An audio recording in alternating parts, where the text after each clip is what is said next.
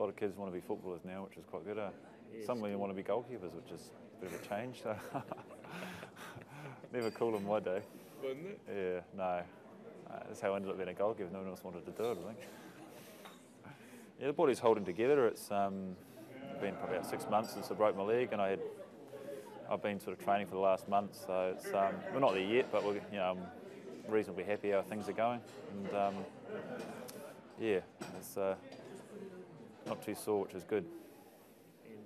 Yeah, in the gym and uh, on the roads, uh, out running, so a lot of straight lines. So um, been trying to try and take a little bit easier this year. Um, obviously, no World Cup um, looming, and uh, yeah, haven't done a huge amount of training on the grass, which has um, you know been nice uh, in a way. So I've been ramping that up over over the last uh, four weeks, and um, you know, we're sort of getting there. We're getting sort of uh, a little bit fitter. Yeah, yeah, it's a wee while away actually. It's still got, got a few months before that, so I've got plenty of time um, uh, before I need to be at my peak fitness and uh, you know, touch wood, um, no more injuries during pre-season and be ready to go.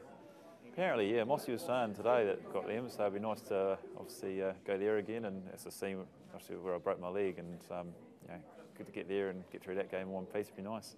payback. Um, yeah, yeah, we didn't have a good record against them last season, so um, hopefully we, can you know, overturn a couple of those bad results we had there last season.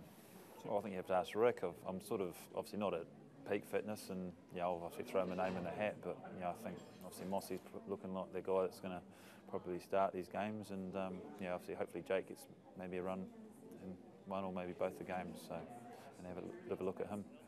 Yeah, don't try and catch it. I think. Yeah, no, it was. Um, yeah, South Africa, I think, proved it's pretty challenging for goalkeepers at altitude. So, especially with that light ball, so it's. Um, alright. He's a pretty experienced goalkeeper, and he'll be fine. Yeah, well, at the moment, obviously, there's you know it's only a few of us here, not the whole squad here, but um, you know, as, as usual, there- there's the core group, and the ones that come in normally, you know, pretty good blokes, and um, you know, there's always a pretty good feeling we all come together, and um, you know, which is uh, obviously puts us in good stead when we get on the pitch.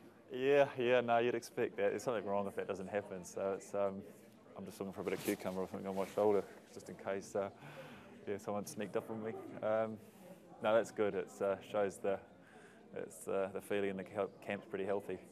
That's good. Cheers, bro. No worries. All right. Thanks, mate. No worries.